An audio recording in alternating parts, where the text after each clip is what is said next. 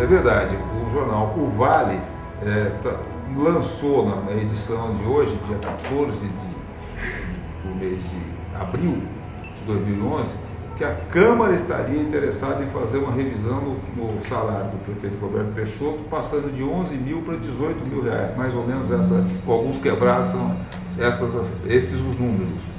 Isso não, não pode acontecer. Primeiro, porque você só pode fazer fixação de salário de prefeito, vereador ou agente político no último ano do governo para valer para os quatro anos seguintes. Nesse período, a única coisa que é possível ser feita é a correção monetária, você não pode dar aumento real. Isso é o primeiro ponto. Segundo, que o prefeito também não pediu isso e já declarou que não, não quer receber esse aumento e que se esse aumento vier, ele vai doar esse aumento.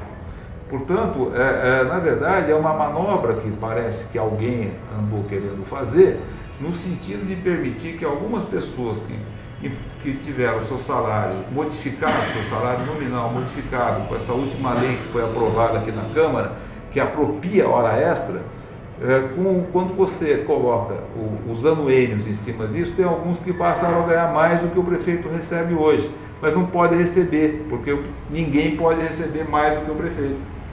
Então, na verdade, eu, eu, eu acredito que isso foi uma tentativa, alguém deve ter vindo buzinar no ouvido de alguém na Câmara, né? não sei os nomes, mas que queriam fazer uma, uma, uma correção para permitir que essas pessoas recebessem um salário que é maior.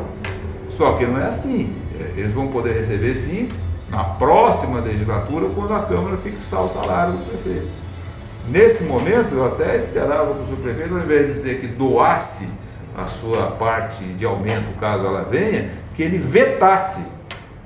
Isso é o que se espera dele, porque aí se, é, a gente vai estar, se ele, se ele aceitar isso para doar, a despesa para o cofre público vai sair. E não devia sair.